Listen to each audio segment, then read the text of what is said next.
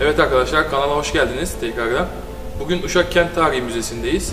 Abimle beraber e, bize anlatacak nasıl işleyişini, neler olmuş, neler bitmiş. Ben fazla bilgim olmadığı için sözü abime devrediyorum. Evet abi. Merhaba arkadaşlar. Ben Nihat İnan, arkeoloğum. Uşak Kent Tarihi Müzesi'nde görevliyim. Uşak Kent Tarihi Müzesi'nin yani binanın özelliği ilk elektrik üretim yeri olmasıdır. İstanbul'a, Ankara'ya, İzmir'e 1912'lerde elektrik gitmişken Uşak'a 1909 yılında geliyor. 1909 yılında elektrik ilk olarak bu binadan dağıtılıyor.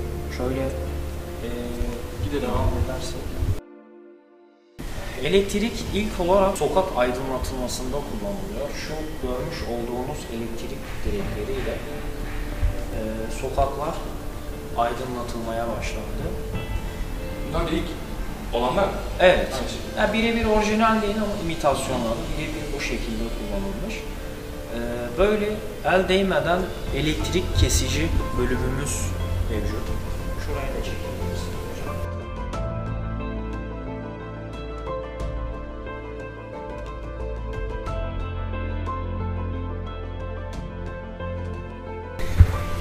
Bisikletimizin özelliği plakasının olması, ehliyet ve ruhsata sahip bir bisiklet. Ee, Türkiye'de yanlışım yoksa iki tane var. Biri Mersin'de, diğeri de Uşağımızda sergileniyor. Normal kişiye ait 1949 yılından kalma Mustafa Acar Türk e, inşaat mühendisi kendisi. Kendisi tarafından müzemize bağışlanmıştı. Şunu yakından çekmenizi isterim. Önemli bir fotoğraf. bu fotoğraflar burada mı çekilmiş? Böyle bir şey duymuştum. Bu fotoğraflar önce Polatlı diye kayıtlara geçiyor. Daha sonra e, kendi tanıdıklarına göre şöyle şurada açıklaması var. E, kendi dedesinin fotoğrafta olduğunu. Bu fotoğraf Uşak'ta çekilmişti.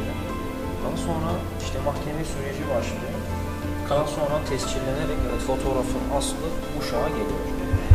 Şurada Afrin'de şehir olmuş bir askerimizin üniforması, emanetleri, sancağı, arması, Buraya mı bastın? Şu anki belediye başkanımız Nurullah Çağrı başlamıştır. Kendisi de burada sergilenmesi gördüm. Uşaklı bir gençti. Uşaklı mıydı? Ee, Yoksa- birçok bilinmiyor. Bilmiyorum. anladım.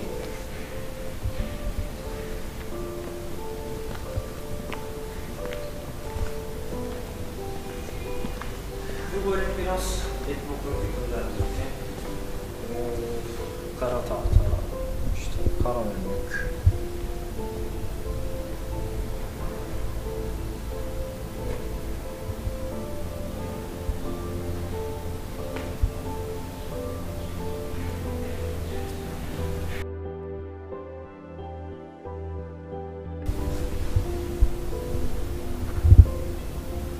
Eskiden daha büyük olurmuş hı. Ee, Murat Dağı'nda yetişen e, yüksek ağaçlardan olurdu. Ee, eskiden halıların boyutları daha büyük oluyordu.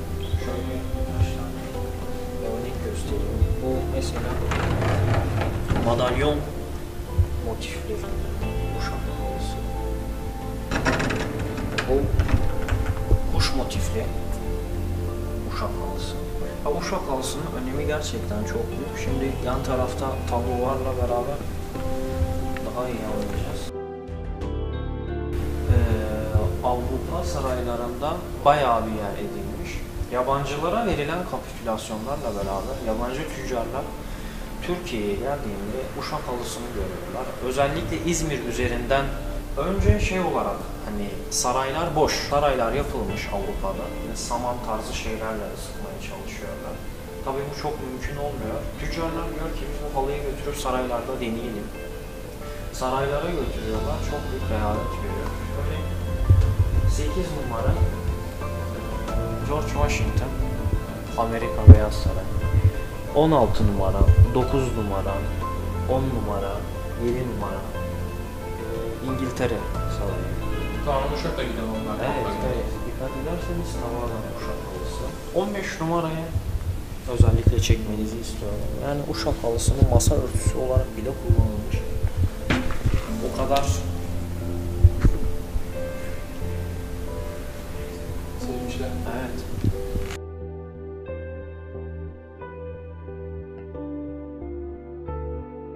Halı makası, koyun kırpma makası.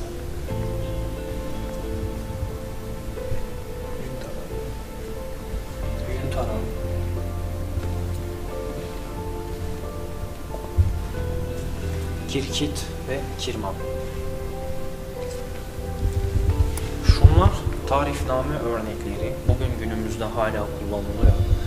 Ee, özellikle yurt dışından hangi desende, hangi motifte halı istiyorlarsa onun motifini çizip yani tarifnamesini yapıp Uşak'a gönderiliyor. Ee, Uşak'taki birebir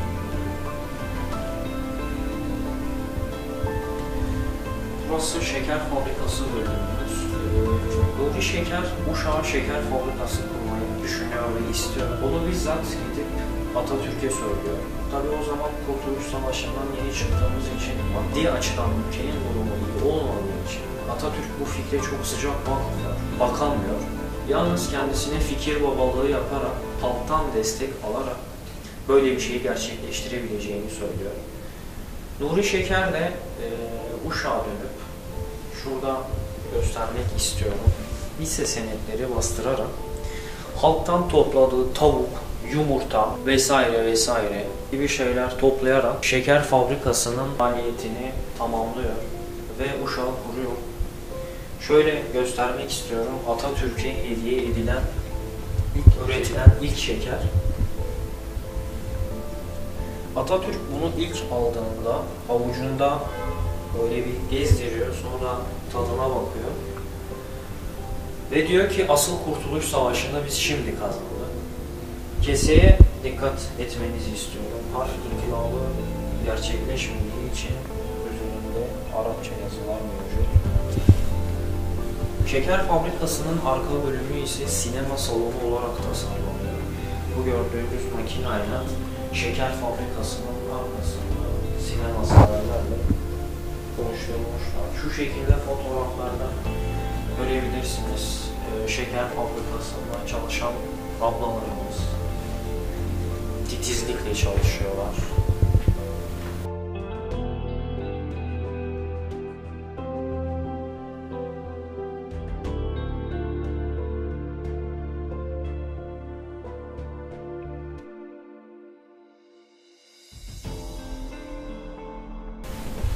Halısında kullanılan boyaların ham maddeleri.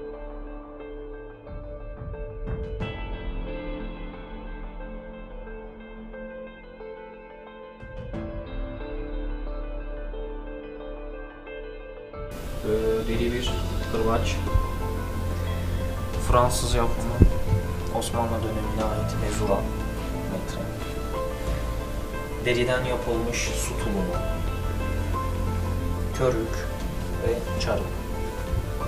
Bu bölümde bir İslamoğlu oyunu canlandırması var. Evet. Ee, doğuda halay neyse, e, işte Trabzon'da horon neyse, Uşak'ta da İslamoğlu oyunu.